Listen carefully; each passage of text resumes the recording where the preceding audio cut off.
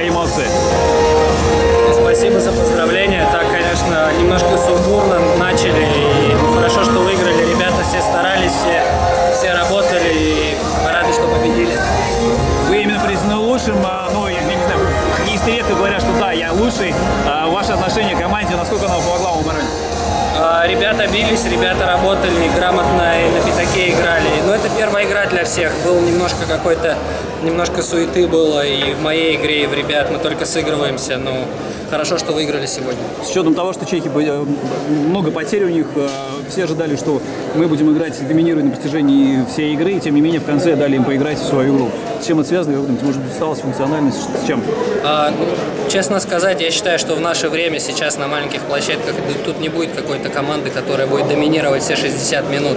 Там а, мастеровитые ребята, которых, у которых большой опыт игры в НХЛ. Это равная игра. Здесь а, тем и интересен турнир, что каждый, каждый матч неизвестно, куда, в какую а, сторону перевесит чаша весов. Можно сказать, что уже сейчас чувствуется, что впереди вот Кубок мира, что это одно из самых таких знаменательных событий года. И Ну, ажиотаж нарастает, я бы сказал так. Все постепенно, все, все пошагово. Сегодня отыграли, восстанавливаемся, идем дальше. Я в третьей шайбе, чем там? Но там а, блокировка была, я тянулся блином за шайбой, и я врезался в игрока или соперника, или своего, я не видел. Но я не мог ее отбить из-за из этой, по этой причине. В Чехии будет другая площадка, это для подготовки вообще удобно, хоккей будет уже тоже другой.